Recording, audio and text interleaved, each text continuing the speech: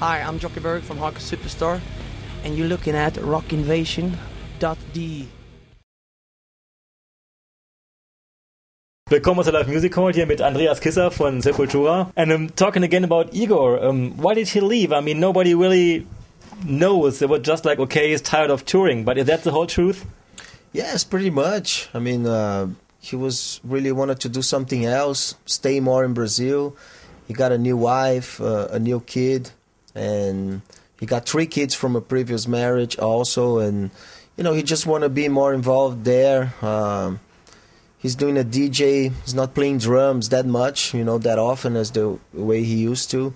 Um, he just got tired, I guess. You know, I mean, that's pretty natural. It's like 23 years, you know, in a row. He wanted to get in touch with his brother more often and stuff, and I guess that's very understandable. You still got the fire, don't you?